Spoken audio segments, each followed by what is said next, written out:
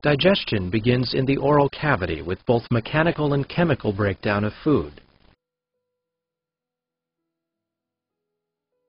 Chewing motion breaks down food particles and mixes food with saliva secreted from salivary glands. There are three salivary glands that contribute secretions to saliva.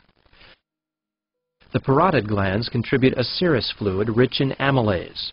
Amylase is a digestive enzyme that begins carbohydrate digestion. The submandibular glands secrete a primarily serous fluid that also contains some mucus. Mucus secreted from the sublingual glands helps bind food together and acts as a lubricant during swallowing. As food is swallowed, it enters the esophagus and is moved downward by a wave-like muscular contraction called peristalsis. The contractions progress from the superior end of the esophagus to the gastroesophageal junction, where the contents of the esophagus empty into the cardiac region of the stomach. The lining of the stomach secretes gastric juices that contain digestive enzymes. Peristalsis churns and mixes the food with gastric juices while moving the food toward the first part of the small intestine, the duodenum.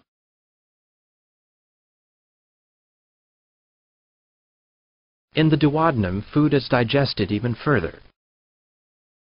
The bile duct from the liver and gallbladder and the pancreatic duct from the pancreas all empty their secretions in the duodenum. The bile works to break down fats, while the pancreatic enzymes aid in the digestion of other food particles. Together, these digestive juices help prepare the food so that the small intestine can absorb as many nutrients from the food as possible. The majority of the absorption takes place in the second portion of the small intestine, a three-foot section called the jejunum. As the food travels through the jejunum, it's gradually broken down into smaller and smaller particles. Folds line the walls of the intestine and act to increase the absorptive surface area. The green nutrient particles and the yellow fat particles get caught in these folds and are absorbed into the intestinal wall. Larger, less digested particles are pushed onto the large intestine, where much of the water they contain is reabsorbed before being expelled from the body. A closer inspection of the folds reveals that the intestinal wall is covered with thousands of finger-like villi.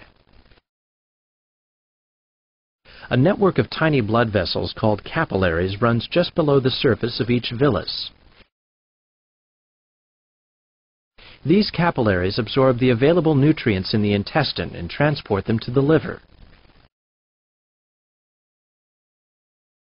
The yellow fat nutrients are absorbed into a vessel called a lacteal that carries them to the circulatory system.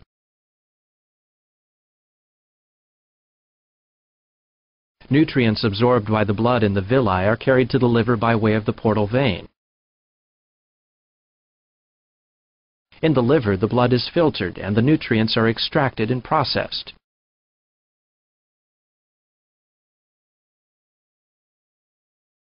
After processing, the nutrients are either stored for future use or released into the bloodstream to be used throughout the body.